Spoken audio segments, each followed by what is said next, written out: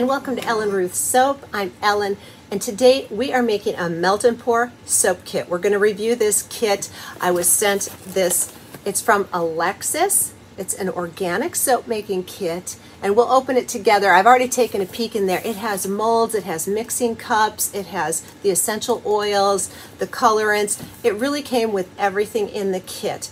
And so we will talk about what's in here, what it retails for, and uh, we'll make it and see see what we get. I think this is going to be really fun. Uh, this would be a great DIY kids projects if you're trying to make teachers gifts or holiday gifts. I think this is fabulous. So we're going to dig into this box. We're going to make some melt and pour organic.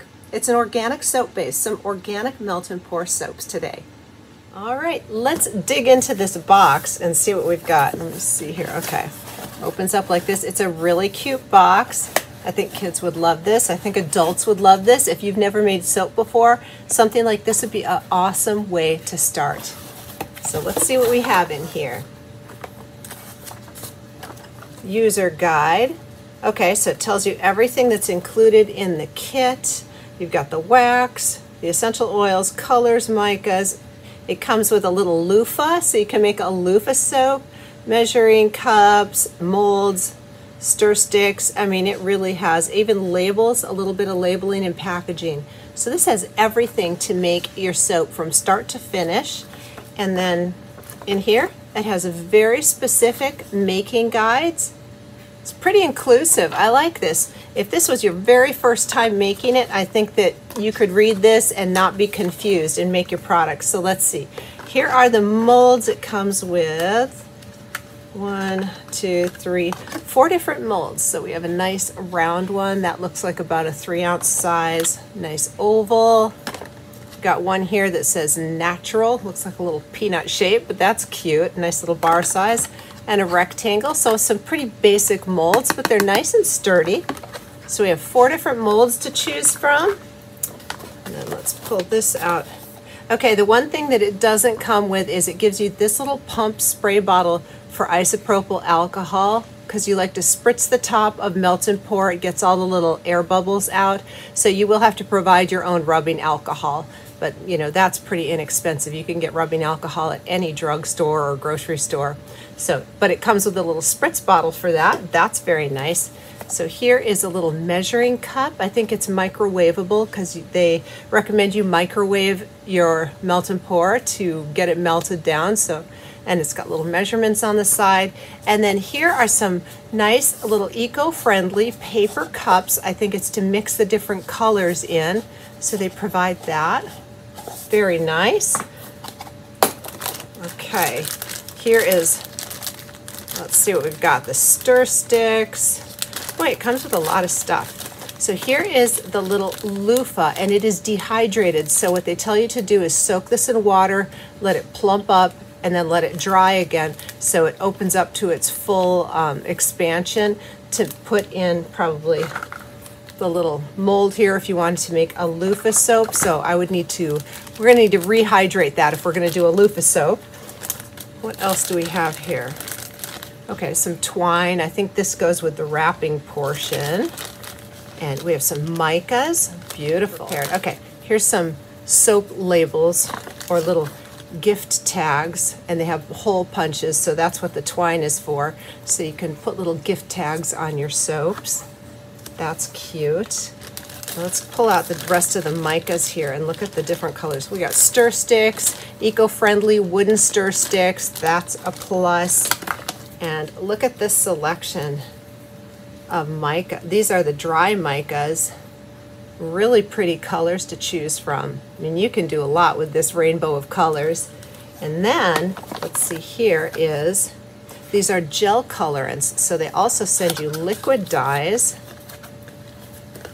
Got some really pretty colors to work with there and the gel dyes. So lots of color options. And then here, they send you some essential oils. And they're actually very generous here.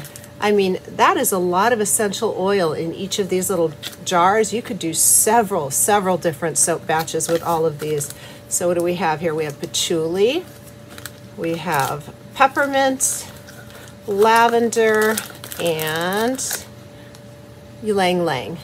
So those are really, I mean, those are pretty categorically popular essential oils, and these are very generous amounts. It's five milliliters in each one of these.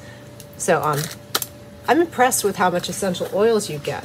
Here is the organic melt and pour soap base.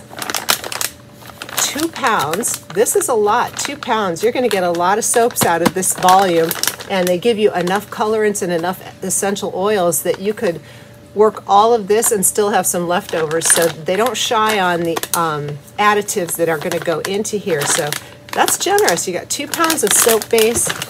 Let's see down here. Oh, look, it comes with some boxes. You can fold these boxes up, made with love. So they've got the labels, they've got some boxes. Handmade, this one says love for you, love you. And down here are some bags. I think if you don't want to put it in a box, you can put it in a bag and tie it off with the twine. Mean, they really have you from start to finish. There is everything in this box. So that's what we got. Let's get to making some soap. All right, here is a look at everything we got all spread out. This kit retails for $39.99. So, you know, with tax and all that, it's $40 for all of this. Uh, but you do have two pounds of soap base and definitely enough colorants and fragrance to make two pounds worth of soap. So that's really not a bad deal. I think as far as pre-made kits where, you know, pre-assembled kits like this go, I think it's a pretty fair price. All right, let's get to it. All right, well, one of the first things they say to do is put the little loofah, cut it up if you want to, but I'm gonna leave it whole in some boiling water and let it fluff up, and there it is, and it's all its little fluffed up glory. So now I'm gonna strain this out and let it dry um, before we get moving on. Okay, so a little prep work. Here is my fluffed up and ready loofah and it fits perfectly in this round mold. So I'm gonna use the whole thing in here for a little loofah scrubby soap. And uh, this I'm providing on my own because I have it. It's a little snowflake mold.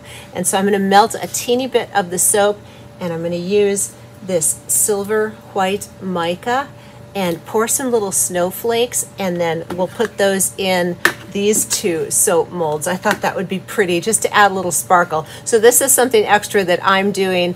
Um, these are on Amazon. These molds are very easy to find. They're very inexpensive. And I just wanted to add a little sparkle. So this is extra, but everything else so far is uh, what comes in the kit. So now I need to get just a teeny bit of melt and pour melted for the snowflakes and let those start hardening and then we'll get on to the main part of the soap. Right, I've got a little melt and pour here in a Dixie cup. Let's open up our silver mica and add it in here. And I'm just gonna eyeball it and get it to, you know, a nice, pretty, sparkly color. It's not gonna take much.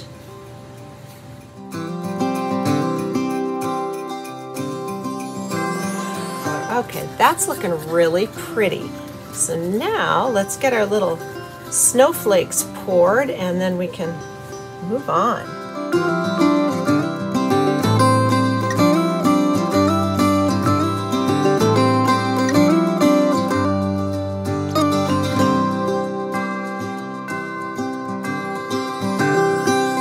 All right, Let's do our first soap, which I want to do the little loofah soap here. So I've patted it dry. It's dry to the touch. It's ready to go. Um, this is about a three ounce bar. And with this is going to take up a little extra volume plus a couple of drops of the, I'm going to do the Ylang Ylang uh, essential oil with some yellow gel colorant. I thought that looked really pretty together. Um, so let's look at the directions here. It says the soap cubes are go in the melt melting jar here in the microwave and to pulse for 10 to 15 seconds. And I can tell you this melts very fast. If you don't keep an eye on it, it will foam over your cup. But you don't want to overheat this because it can affect the finished product. I think it makes the bars, it can get modelly, it can sweat easier. So you definitely don't want to overheat. You just want to the melting point. So let's measure out our cubes here. We'll get them melted. Then we're going to pour it into one of our little cups here for colorant. And it doesn't give you measurements on the gel, it just says to do um, as much as you want for saturation. And then for the essential oils, it says 10 to 20 drops per bar. So that's what we'll do. So right now, let's get three ounces of these little cubes. It comes all cubed up, which is very convenient. So let's measure out three ounces of these little cubes.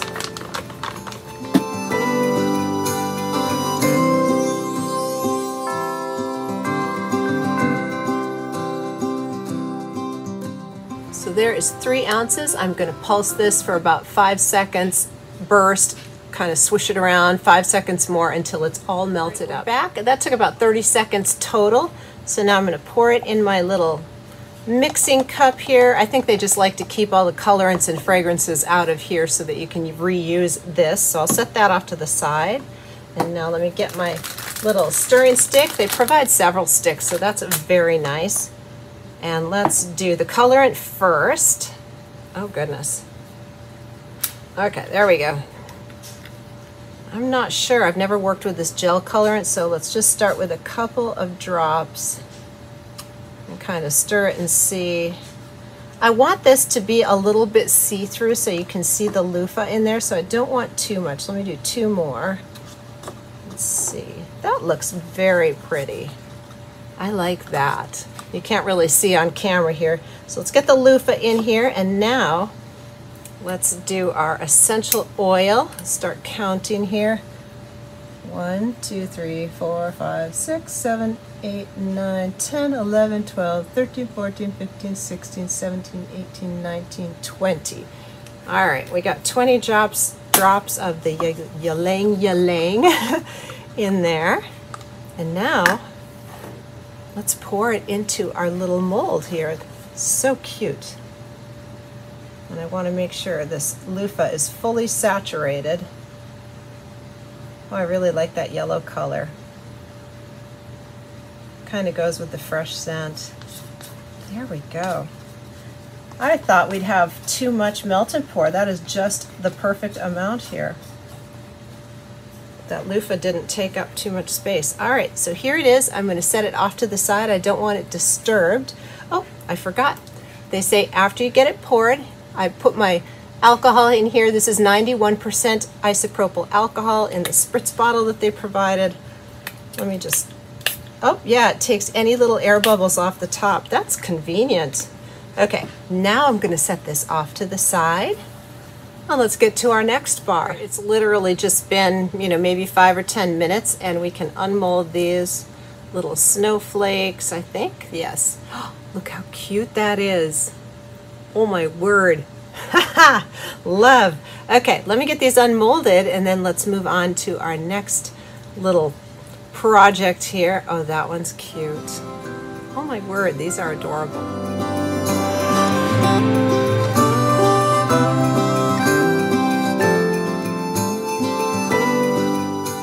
For our next bar, I'm going to try something. We'll see. If it doesn't work out, we'll do it again a different way because these were so easy to make. I'm going to try lining the bottom with these snowflakes and pouring a little layer of the melt and pour on top to kind of stick them and then fill the rest up so that when we unmold it, you'll see the snowflakes. This is my thought process. We'll see. What I'm afraid of is if I pour all the melt and pour on there, it'll be so warm, it'll just melt them. So I want to make a little bit of the melt and pour. There we go. All right, so I've got these already down in the bottom and I'm just gonna melt a little bit of melt and pour and we'll see if we can get those to stick and then we will pour the rest of it in there. So I'm gonna be doing the peppermint essential oil because I thought mint and the snowflakes sounded really good. And then I'm going to do the mica. it was a toss-up. They have this scarlet red gel, which I'm sure is going to be pretty, but I want a little bit of sparkle. So this uh, cherry red mica has a little bit of sparkle. So we'll do that.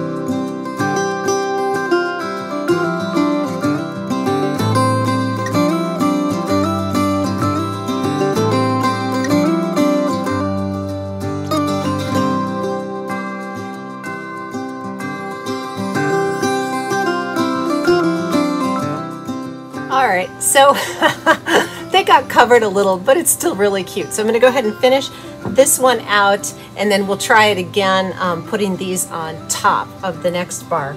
So I've got my melted, again, this only took about 35 seconds to do this batch. We'll put it in here and get the colorant and our mint fragrance in there, essential oil.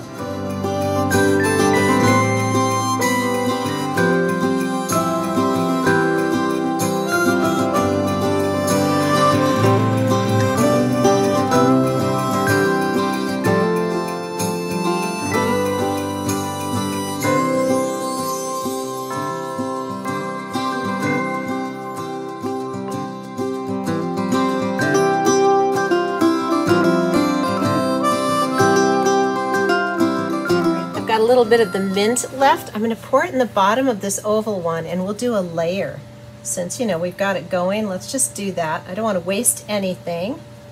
So there is the red layer and then we'll do a green layer and then we'll put our little um, snowflakes on top of that. Wouldn't that be pretty? All right, here is the rest of the melt and pour. I'm gonna put it in my stir cup and I decided to use for the green layer, oh, I'm gonna use peppermint again to go with the peppermint that's in there. Uh, this grass green gel colorant. So let's get a stir stick and we'll just start adding drops till we get it where we want it.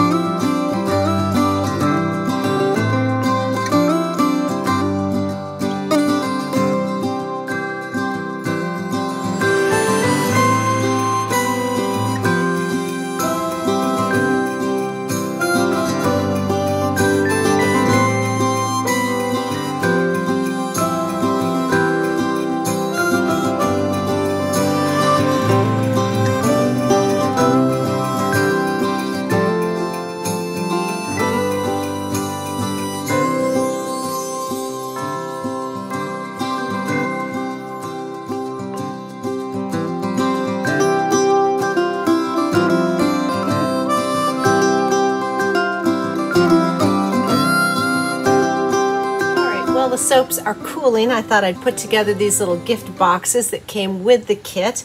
And it also came with the clear bags here also that you can use. But I wanted to put the boxes together. They seem pretty straightforward. I think it's kind of like my shipping boxes. Yep, it is. So let's see.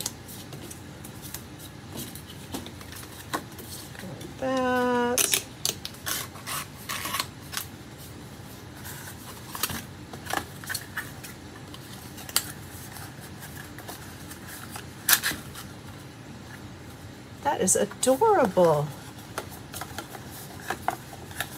So let's see, we're gonna just fold in and then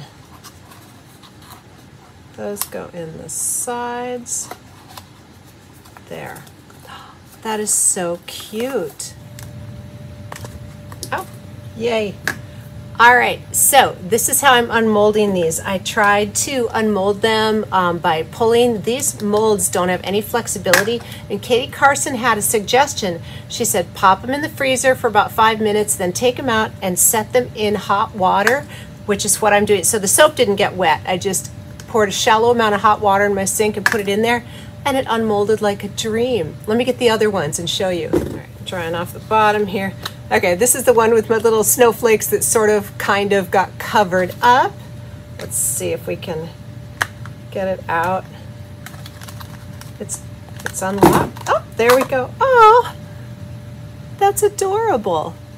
Okay, let's get the other one. All right, here's our little layered one with the snowflakes on top.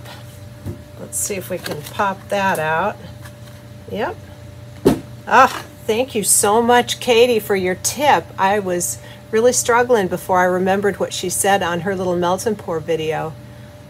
It, they really unmold like a dream. Oh, that is so cute. And these pigments are very, that gel um, colorant is a very pigmented color. That is quite nice. All right, let's get the last one. Lavender bar.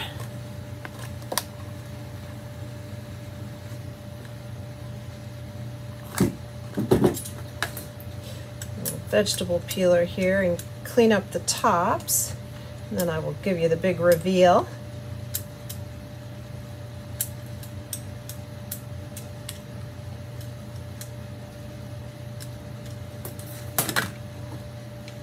All right. Oh, that's so cute, natural. And again, look how pigmented that gel was. I did not use very many drops, so the, those colorants are wonderful. I'm going to go ahead and clean all these up since I've got my vegetable peeler out. Just any of the rough edges. I just don't think that's comfortable on a bar of soap. I like smooth edges. So this one, with the loofah, I'm really glad I only did a couple of drops of the yellow because you can really see the loofah in there. That is adorable.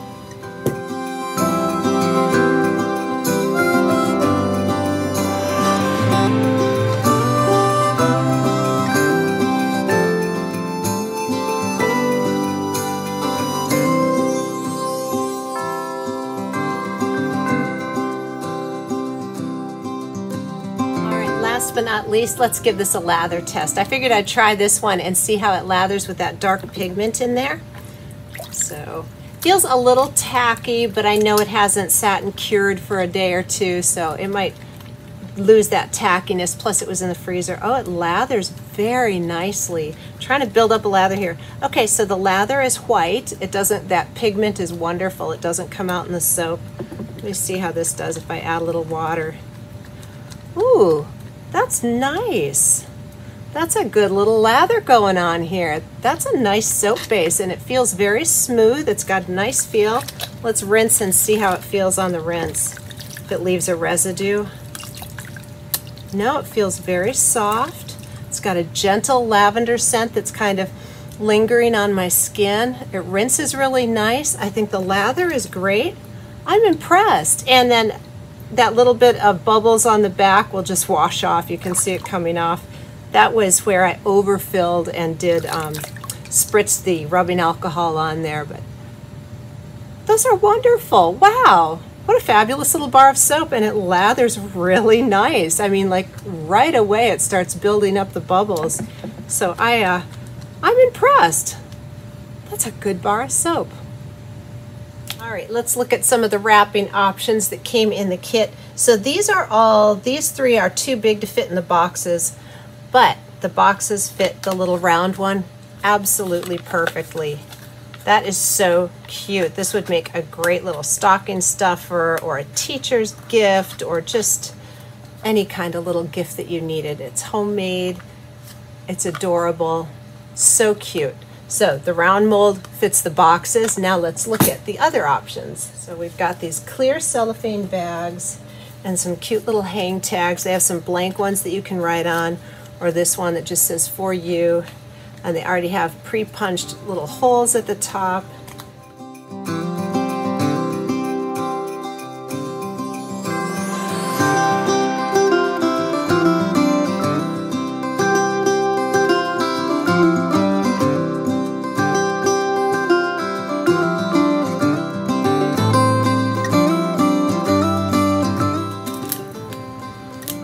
Isn't that adorable?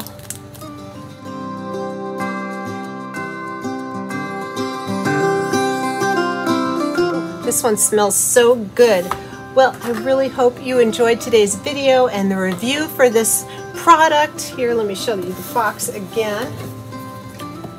So everything you need to make what we did today comes in this kit, organic soap making. And uh, I have enough, so we made four bars of soap today and I have about half of this left. I have about a pound left. So this would make a total of eight bars of soap. for $40. So it's going to be about $5 a bar, but it's homemade and there's something really fun about doing this and it comes with all of the wrapping.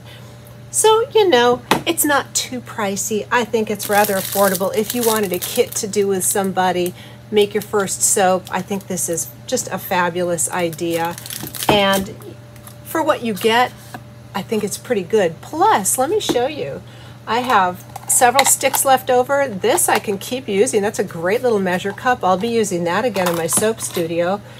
I have all these essential oils left. I mean, these are generously filled and this is the peppermint. So even after scenting a bar, I, there is a ton of essential oil left in each one of these jars. I can use those for more projects. And then the colorants, they're very generous with the colorants. I have lots and lots of micas left and these gel colorants. The amount of soap they give you, but if you bought another melt and pour block, you could use all of these to continue making soaps. And the little molds they give you are cute. I I think I like other molds, but I think these are adorable and they were fun to work with. And so I really think it's a cute project. Well, thank you so much for joining me today. I hope you liked the video. This was fun to make. And if you give it a try, let me know and have a wonderful day.